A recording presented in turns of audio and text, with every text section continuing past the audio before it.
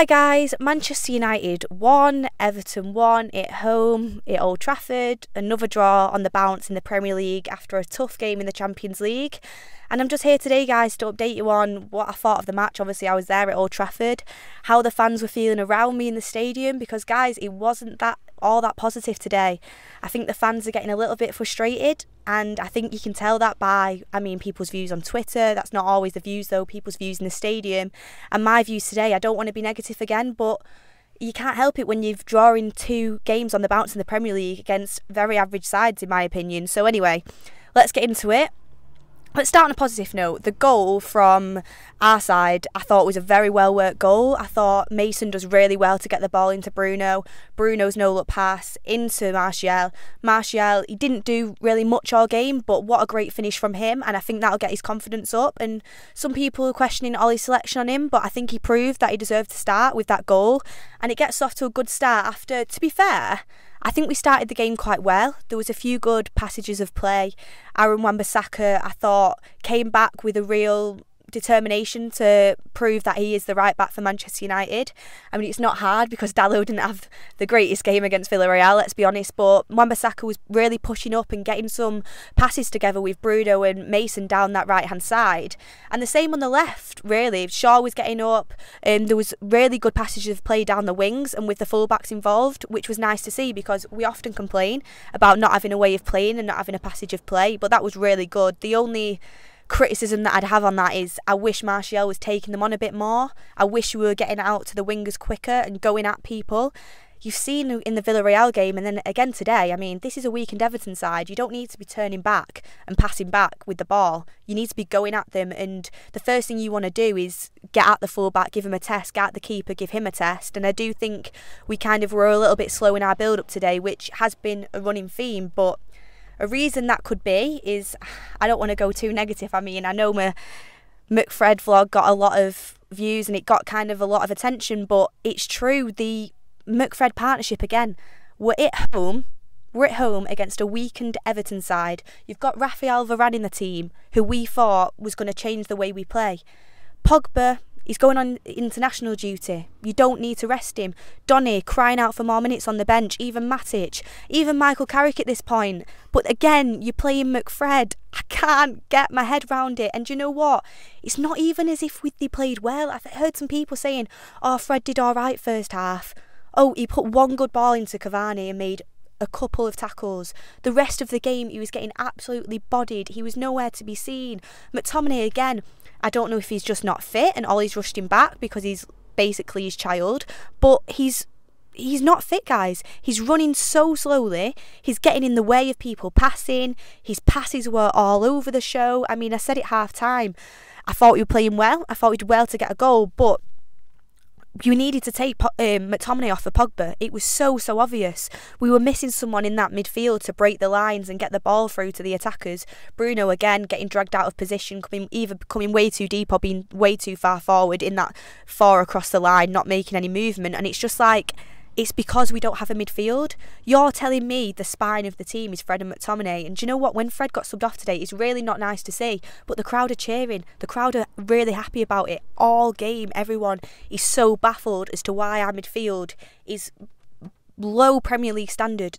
It's not a good midfield pair. It really isn't. And the midfield is the spine of the team. And we can't get up the pitch when Varane and Lindelof have the ball, I feel for them because Fred and McTominay are just not offering themselves to the football whatsoever. When you're a midfield player, your job is to trans- transition the ball out of defence through midfield and into the attack. But that's not happening. The defence is just going straight to attack. It's getting bypassed. And then when they eventually do get the ball, I'm, I'm not scapegoating people, but for me, they are the reason we lost the game. Not lost the game. Feels like a loss. Drew the game again. It's because when they get the ball, we're either passing it back to Everton because they can't make a pass. Sancho or Martial is in miles of space on the wing, but Scott looks over. He knows he can't make that. He can't make that pass, so it gets passed sideways again, sideways FC, and we're missing attacking opportunities.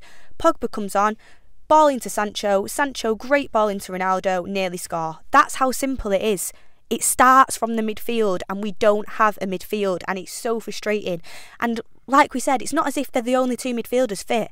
You've got Donny van de Beek and Paul Pogba literally sat on the bench who could have done a miles better job today.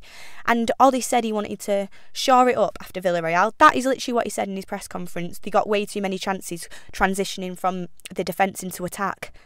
Ole, Fred is the reason why we drew that game because he, fair enough, bad corner from Bruno, but then Demar uh, Gray gets the ball. Fred completely outmuscled by him, outmuscled by Gray for Everton, and Gray just skips past him. Again, Fred light as a feather. Fifth or sixth time that game, gets shoved off the ball on the counter attack, and it's an easy goal for them. They didn't have that many chances, but the reason why they got the chances they did is because our midfield were just shoved off the ball. And it's so frustrating to watch. You need your midfield to be positionally aware, strong, ta- tackling, be able to create play great passes. And yes, these are a lot of attributes you have to have as a midfield player, but you're playing for Manchester United, you should have these attributes. And I'm just so sick of seeing Fred get pushed off the ball so, so easily and literally get waltzed past. It happened in the first half as well, and it happened twice. He got waltzed past twice, and he was like, oh, like giving up in the midfield, and they were nearly in. Luckily, I think it was Lindelof that made a great block, but it's so frustrating because every time he gets the ball, you you literally get scared that they're going to be able to counter attack so easily, and that shouldn't be happening. And with Ole saying shore it up in the midfield, the thing is with that is that you need to go out at Old Trafford and try and score. When you've scored a few goals, that's when you try and shore it up. Maybe bring Matic on, maybe go a tiny bit more defensive if you are worried about conceding. But starting off so negatively with two CDMs in your midfield against a weakened Everton side, how do you expect to go and score? and put the game to bed doing that. And that's why we struggled. Rafa knew what he was doing. He was going to try and frustrate us, like most of the other teams have succeeded to do, force us to try and score late on, and that's it. try and get a late goal. Aston Villa did the same. Everton have now done it, and we've and we've drawn a game again. We've drawn a game again. I mean, actually, we lost the Aston Villa game. We lost it, and now we've drawn. And it's just so frustrating because we're dropping points in the league. And, and it's just really hard to look past because we should not be dropping points. And I do think the pressure is really getting on Ole's back now because he's going to have to produce some points soon and he can't do it keep playing McFred because I tell you, you can't kid the fans, and the fans can see that that is not the right midfield and we aren't playing the right way. We need quick flowing football with passes around the box, but also getting it out to the wingers quickly. So many times Sancho could have got in, and he can be a great player for this club. He played when he came on today. He looked great, going at people, getting past people. And you saw that pass into Ronaldo. It's so similar to the passes he was putting into Haaland at Dortmund. We need to get the ball quicker to him. If you get to it slow, they have time to get back in shape, and it's pass back FC. But no, get it in quick and we'll score goals. But like Ronaldo sa- said, and Ole shut it down, we need to pass quicker. Another thing, guys, that I just quickly wanted to add was Cavani and Ronaldo situation. I mean, I thought Cavani played well when he was on. I thought his running was great, his pressing was great, really, really pressuring the Everton defence and Pickford. And Pickford, by the way, was a great save to keep Cavani's goal out. And then he comes off, I think, around the 60th minute for Ronaldo. Obviously, Ronaldo's not going to be happy that he's being benched, and Cavani, after putting in that much work into the first half, isn't going to be happy he's coming off. So how Ole's going to manage these forwards going forward, I'm, I'm, I'm really not sure.